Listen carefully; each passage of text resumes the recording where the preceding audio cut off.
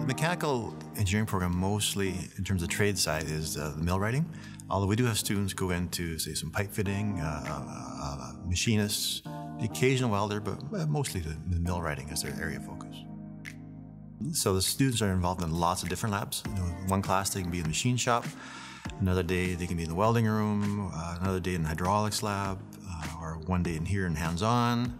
And the second year we do some CNC stuff, uh, and also as they do their math and physics as well. It is a three-year program, but students can do one, two, or the third year.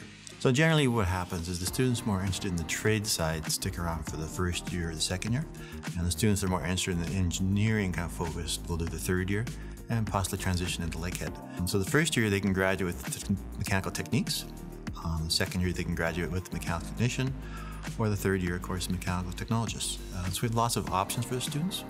I chose to go into this program because I was always really fascinated about how things work and how to build things, so I figured this program would probably be the best option for me.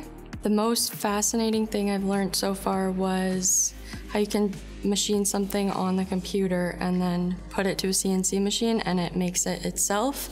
I thought that was probably the coolest thing so far. I kind of struggled with math until I started here. And then once I got going, pretty much became like my favorite subject, uh, strangely.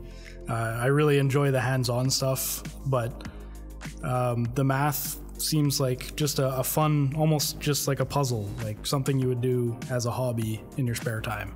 So going into millwrighting, a lot of the employees will come and hire out of the two-year program. Uh, you know, someone that has some experience, right? Uh, someone that knows the tools already versus hiring someone right off the street.